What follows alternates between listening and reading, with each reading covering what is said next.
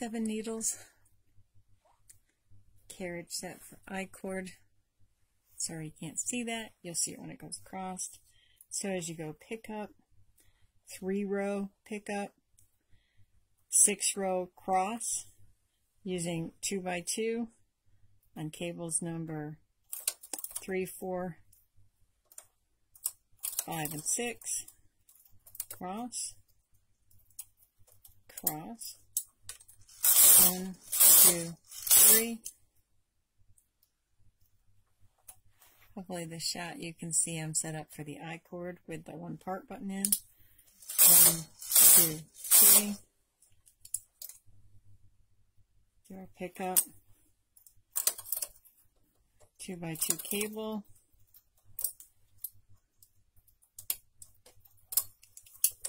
One, two, three.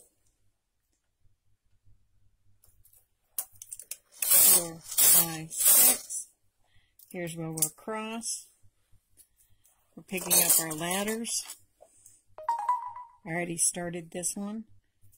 So we're going to run the edge. One, two, just latching it up like you're doing a drop stitch. You can see how they cross. If you run the side, you'll know which one you should pick up next.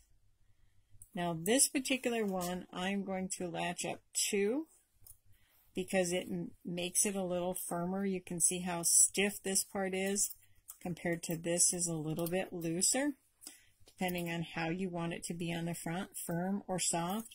You don't have to latch the second one up. That's totally your option, but that's how I'm doing this